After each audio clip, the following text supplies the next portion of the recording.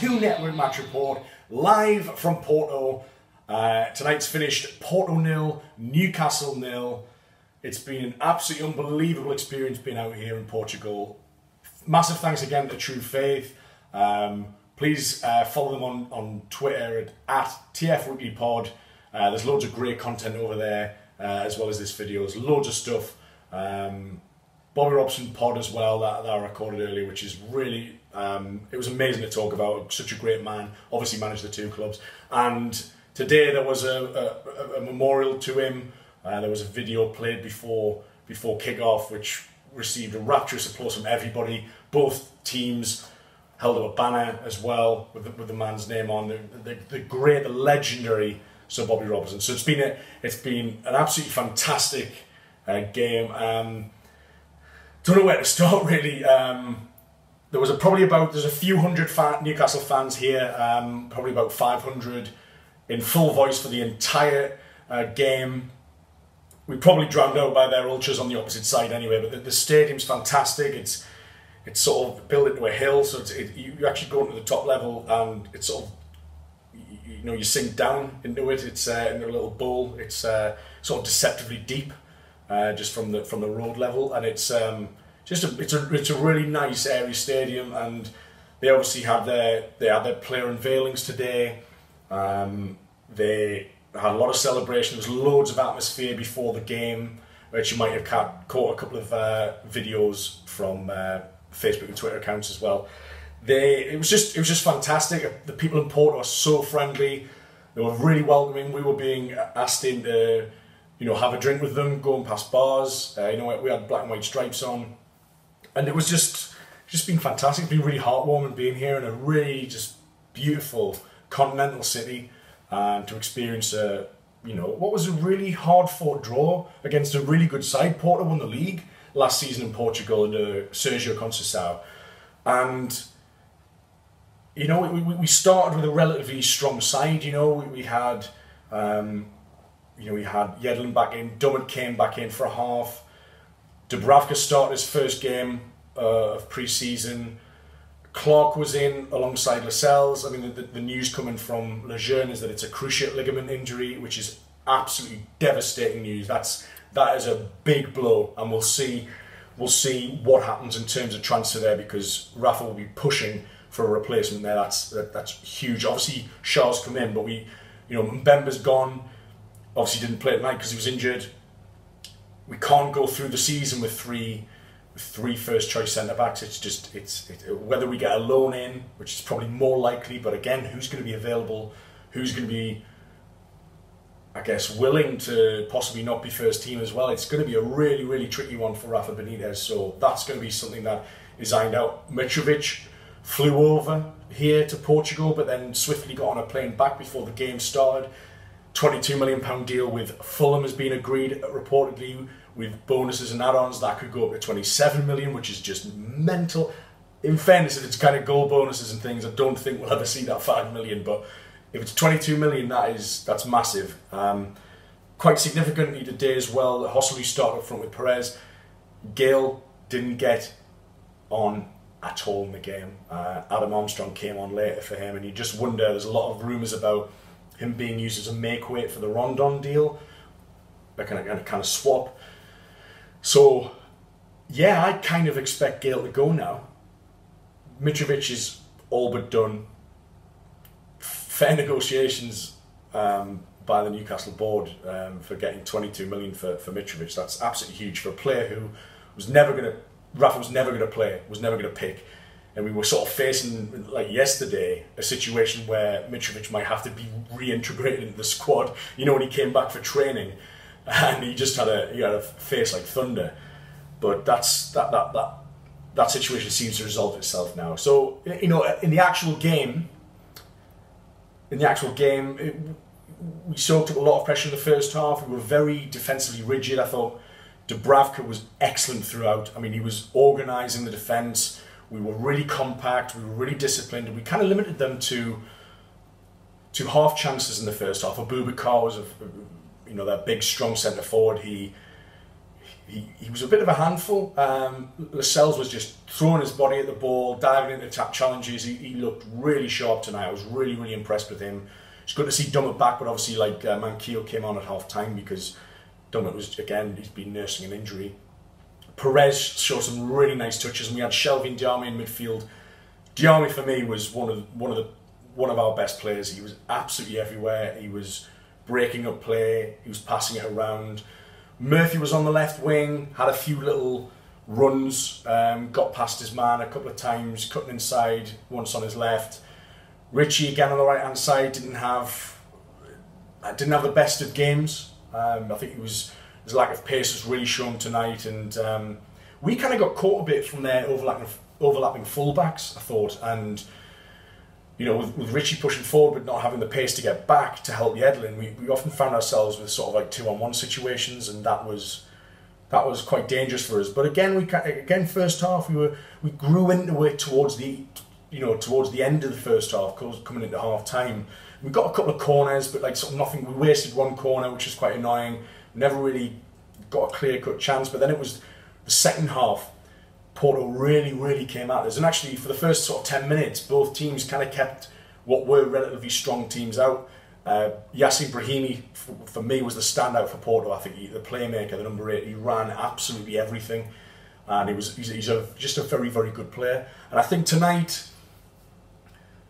they were very, very unlucky not, not to win it. They, they had a lot more chances than we did. Uh, Dubravka made some said absolute world class saves. There was one from a diving header where he, it would have been an unbelievable uh, save had he tipped it around the post even, but he, he managed to gr- he flew across his goal, grabbed onto it on the line and down. He's just he's so reliable and he has such a positive impact on our defence and the organisation of it. And you know he blocked another one. There was another another one where he palmed it wide and then the follow up came off the bar. The, Porto were throwing everything, and, and to be honest, I think it was it was sort of Porto's poor finishing that meant that the you know there was a goalless uh, game tonight. I think had they been more clinical, we might have lost 2 0, for example, I, I, think.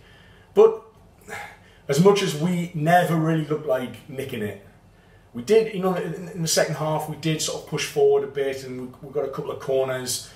But ultimately, you know, by we made a lot of wholesale changes after the hour. Ki came on, so it was really good to see a bit more of him. Um, and you know, by the you know by the, by, by the final whistle, our front four consisted of Atsu on the right wing, Callum Roberts for some reason on the left wing. I would have expected to see Victor Fernandez come in there, but maybe he'll play against Braga. Who knows? Sean Longstaff came in in the kind of Perez role. He was sort of playing in behind uh, Adam Armstrong went up front, as, as I said earlier, it's quite significant that Gayle didn't come on at all, which is very, very telling. In a game that you would expect him to want Rafa to get minutes for a first team player, he hasn't at all. He hasn't even given him 20 minutes or 10 minutes. So I, I, I really, really think Gayle's on his way. I, I fully believe that.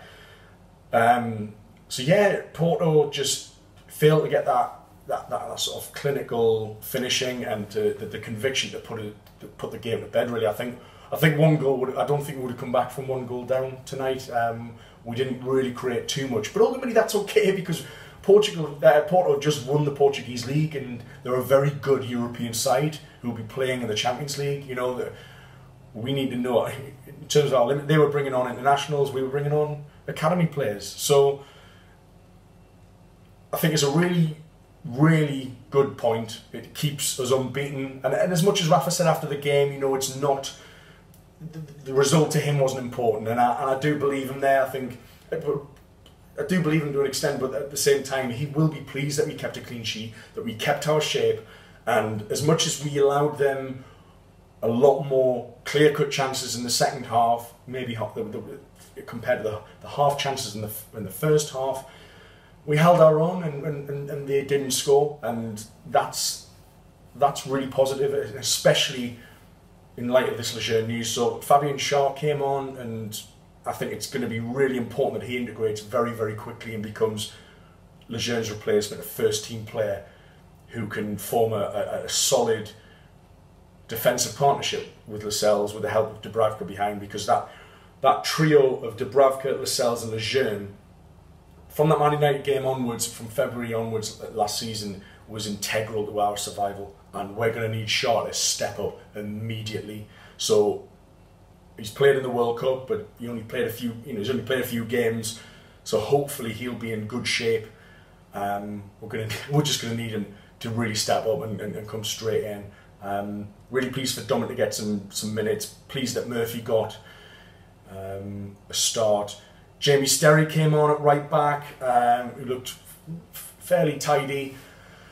I think it seems, I don't know, it just seems unlikely that we're going to bring in another fullback. I mean, hopefully, I'd really like to see Sterry. I really like this. I'd really like Rafa to think that Sterry's good enough and can step up as a, as, as a backup player. Um, and, and push Yedlin for a starting place. Maybe maybe not pushing for a starting place yet, but at least be there, waiting in the wings in case Yedlin gets injured or fatigued and he wants just a bit of squad rotation.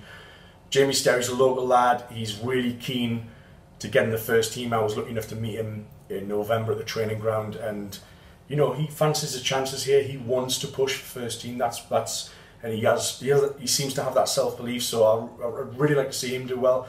Sean Longstaff's played, you know, yet again he's that's his third game in three in pre-season. So whether Rafa's having a really serious look at him uh, to bolster that midfield.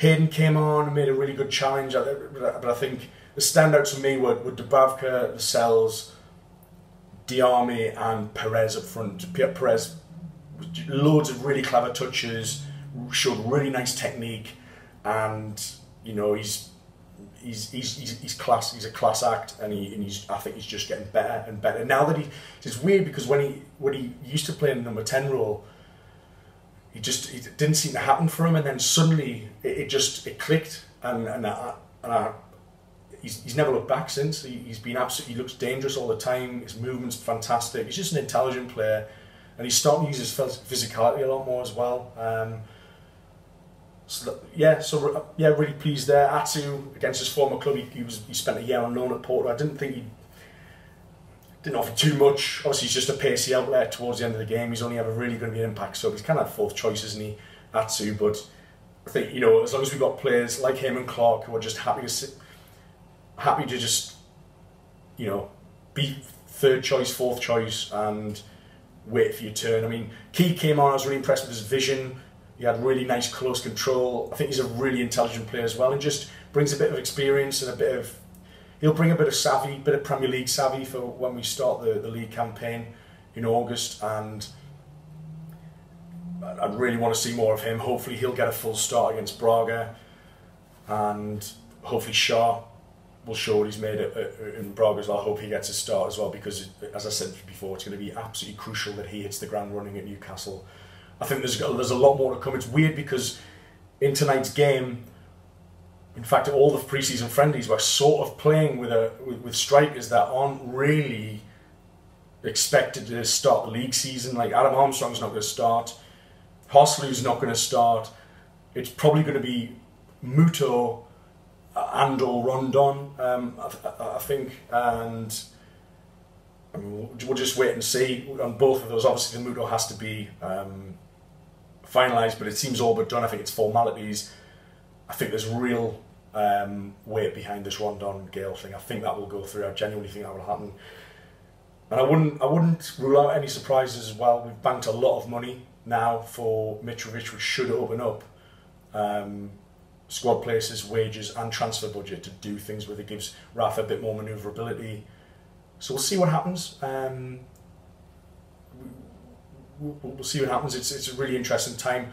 Braga again, I think we'll, we'll set up as we did tonight, defensively, work on the break, um, and try to sniff out some opportunities. Um, interesting the Keys like really, and, and again, whole Ki, Ki was integral to, to Perez's goal in the last minute. Uh, whipping a corner in. He was taking corner, took another corner tonight. Um, and something another player who can assume that Shelvey long passing.